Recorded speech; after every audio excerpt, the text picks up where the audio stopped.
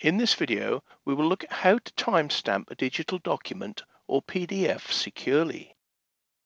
Digital files have some sort of creation date and time attached to them by their software and the operating system.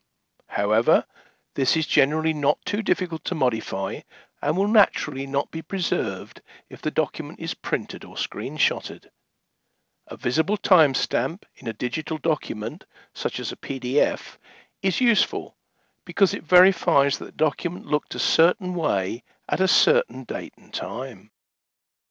Locklizard Safeguard PDF DRM allows you to add dynamic watermarks to your document that are automatically populated with the date and time the document was opened or printed.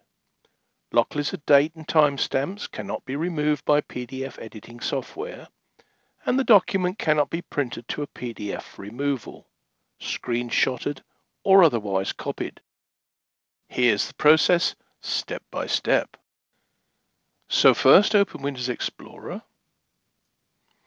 locate the document you wish to protect, right click on the PDF, choose Show More Options, and then select Make Secure PDF.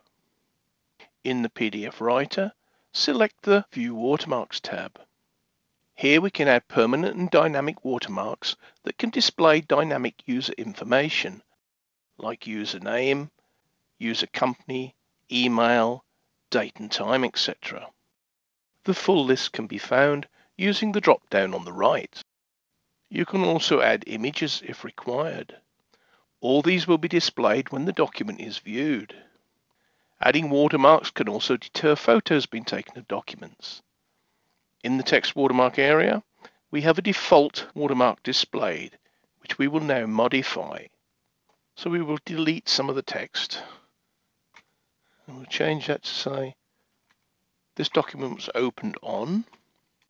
Then using the drop down, we'll select the date and time option. And then type by space, and we'll select the username next. There we go. So this document was opened on date and time by username. You can also add any other information you wish to add at this stage, but for now that's all we're going to have. You then have the option of choosing where you want it to be, across the page, or various other positions you would like it displayed in. We will leave it to across the page. And you can also set the opacity, how strong you want it to show on the page.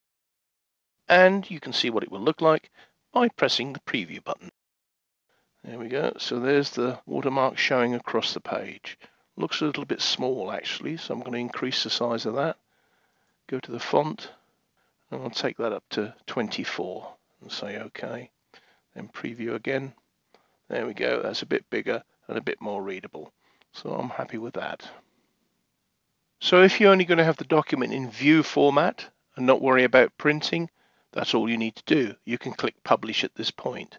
However, I will show you how to also set up print watermarks if you wish the document to be printed by the user. In order to do that, we need to enable printing. So if we go to the printing and viewing tab and then click allow printing. That allows the document to be printed and you can set any other further restrictions on the printing of the document or logging of the requests that you may wish to add. Now we've set printing, we can go back to the Print Watermarks tab and add text watermark. Once again, we have the default watermark, which we will adjust.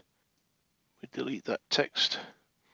This document was printed on, space, again, select the date and time, space, type in by, and again, we'll select username. Okay, so this document was printed on date and time by username. Again, you can add any other text or variables you would like to be displayed. And also, again, you can change the position and opacity and preview as before. So once you're happy with your options, all you have to do is click Publish. Your document will now be fully encrypted and all DRM controls will be applied. Click OK. The newly protected document now has a PDC extension.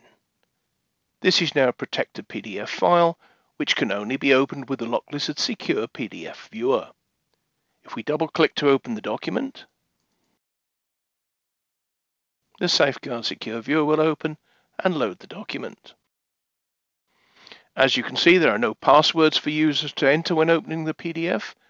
Permissions cannot be removed from the PDF document and are permanently enforced by the viewer. As you can see, the watermark is displayed on each page, showing the selected dynamic details of the user viewing the document. Scroll through, it's on every page. So this document's opened on, you've got the date and time by the user Tony Walsh across the document on every page. As we allowed printing, as you can see the print icon is active, so if we click print, the print preview window opens and you can change your print settings accordingly and you can see a thumbnail of the document as it will be printed okay again you can see the watermark going across the page and that's how it will be printed on the document when you're happy with that all you have to do is press print I'm not going to print it in this case. I'm just going to cancel out. So as you can see, we have covered view-only watermarks. We've covered printing watermarks. So once you've finished viewing the document, all you have to do is close the browser and close Windows Explorer.